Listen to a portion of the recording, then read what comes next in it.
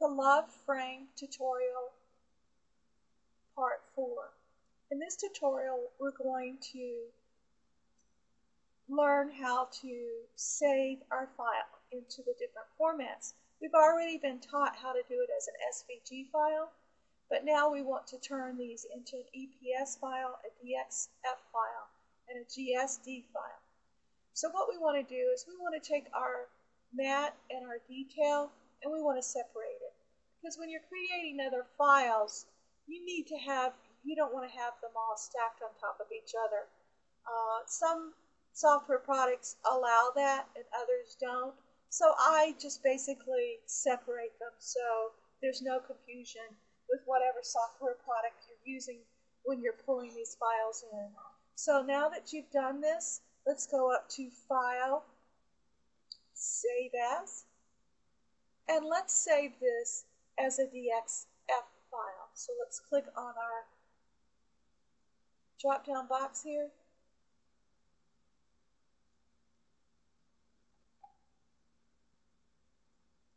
And it now shows the listing and you can click on the desktop cutting plotter DXF.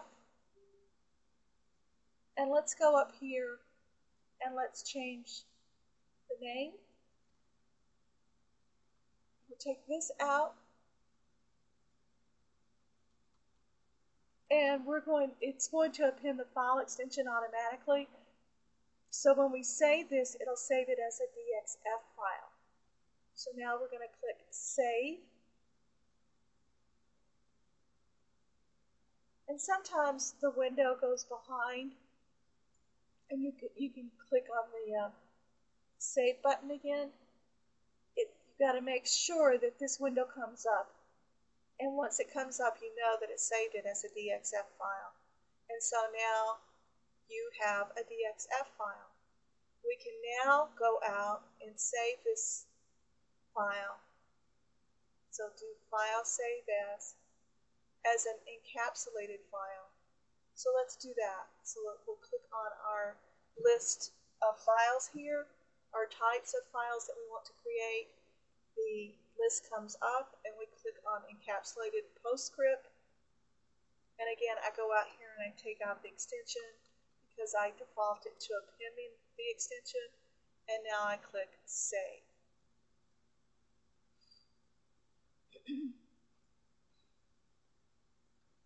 okay, and I just let it default uh, with these settings. It depends upon what you're doing, whether you need these to be set or not. I leave them like it is. And click OK.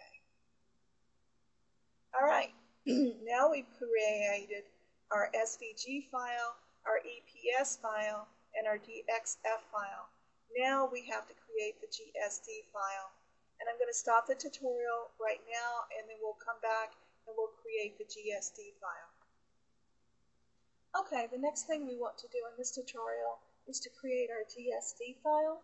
So what we want to do is we now want to go out to our Robo Master Pro software, open it,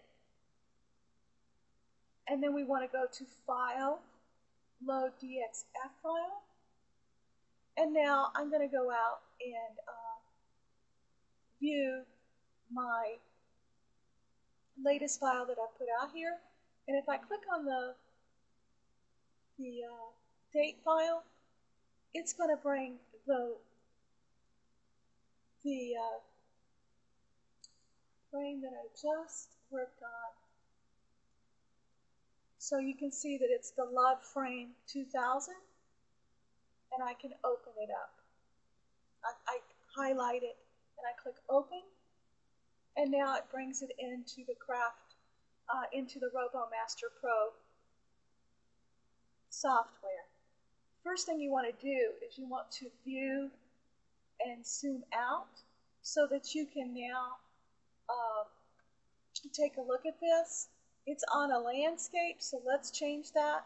So we go to File, document settings, and I, you're going to use a carrier sheet, and I always set mine to letter.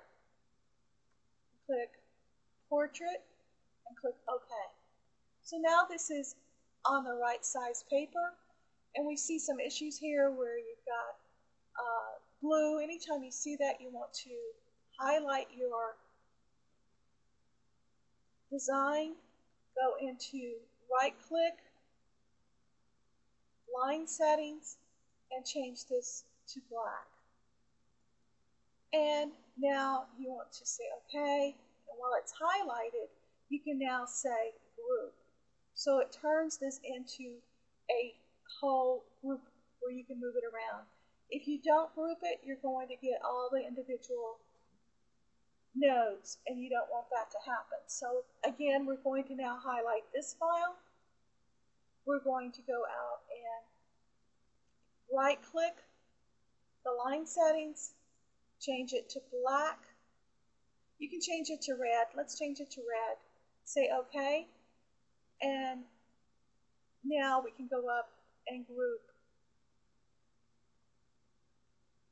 Hit edit and group and now that is a file. So that by doing separate colors, you can cut them out separately.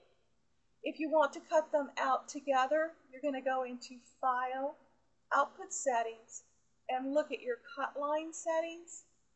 And basically, both of these are set to cut. Now, if you don't want to cut one, you can turn one of them off, cut one on one color, and then come back in, turn that one off, and set this one on, and then cut it. Okay, now that we have created our design and we're happy with it, the next, the last thing we need to do is click File, Save As, and we're going to save it as a GSD file. It's automatically going to my templates. We can keep the same name. The type is GSD. We click Save. Since I've already saved this prior, it's going to tell me, uh, do I want to replace it? I'm going to say yes. But in your case, you just need to hit save. So I'm clicking yes, and it's been saved to my templates folder. We have now created a GSD file, and previously we created an SVG file, an EPS file, and a DXF file.